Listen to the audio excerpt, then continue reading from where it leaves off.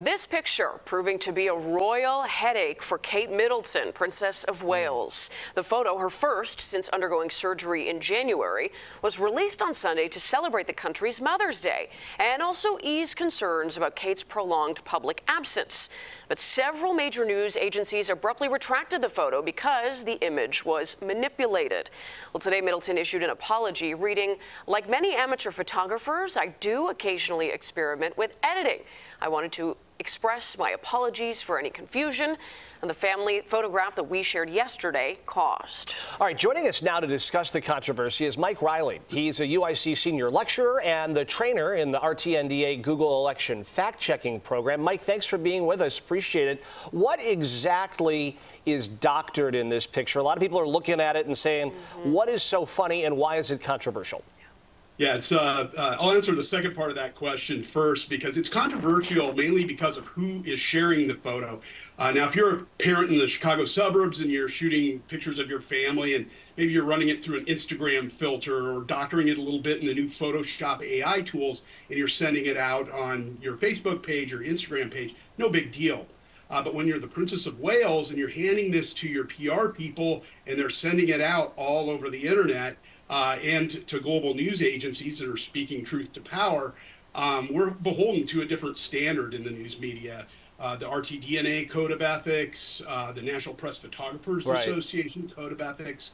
Uh, those are very, very important. But when you look at those uh, uh, photos, Kate's right hand around Louis' waist is one of the big clues. Um, and you could blow this up in Photoshop and actually get down to the pixel level, those little points of light. Mm-hmm. Her hand is very out of focus and very, very, very blurry. That's one of the big clues right there. Also, the uh, blurry area right under uh, uh, Princess Charlotte's uh, right leg uh, goes from in focus to out of focus very quickly, and right around that zipper area that you have highlighted too. Uh, her uh, uh, the zipper and the hair are a little bit off. And when you get down to the fine parts of it, you can see uh, Charlotte's left hand too. the pattern changes a little bit on her sweater.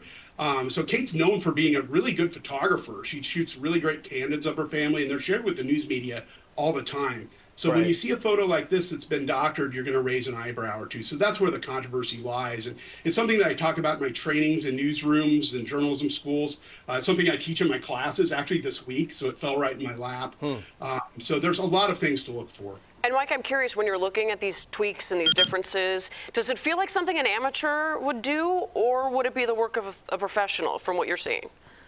Amateurs can do it. Uh, if you're handy with Photoshop or can uh, read a Photoshop primer, uh, there are trimmers all over uh, YouTube. You can learn to do this in five, ten minutes. Um, we're actually doing it all the time every time we play with an Instagram filter as well. So the Instagram filters are a way of editing uh, too. It's altering images. Uh, you guys showed that lovely Porsche photo about four or five minutes ago. um, the color balance on that last beauty shot of that Porsche had been altered quite a bit in Photoshop. So anybody can do this uh, and, and, share the images.